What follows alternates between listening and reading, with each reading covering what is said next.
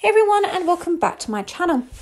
Dress code drama. Olivia Culpo is seemingly clapped back at American Airlines just days after they told her to cover up before boarding their flight. The 29 year old model, who was told to put on a blouse before stepping on the aircraft, took to Instagram on Sunday, January 16th, to share a shady caption. Please caution while using the overhead bins, as items may have shifted during the flight, she wrote. In the accompanying photos, the former Miss Universe wore a sexy dress tied together by nothing but strings.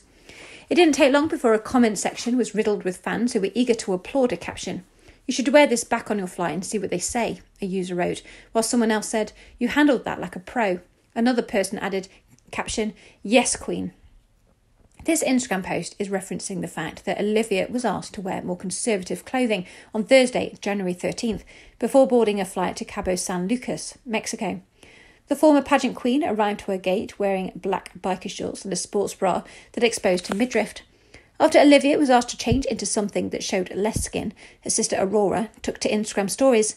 Look at her outfit. She looks cute. She looks appropriate. They call her up to the desk and tell her that she needs to put a blouse on, otherwise, she can't get on the plane. Tell me that is not so fucked up, Aurora said. She then went on to find another woman wearing a similar midriff bearing outfit. She looks beautiful and they don't care, Aurora said, but she, Olivia, has to cover up. To comply with the airline's request, Olivia ended up borrowing her boyfriend, Christian McCaffrey's sweatshirt before boarding.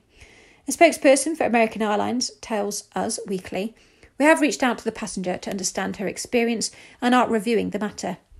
Aside from the drama surrounding the Reprisal star's attire, it seems as though the family's vacation has been smooth sailing. The crews enjoyed a spa, the beach, and a boat day. The group, which also includes Olivia and Aurora's sister, Sophia Culpo, and model Kristen Llewell, even made a TikTok to document the sun filled day.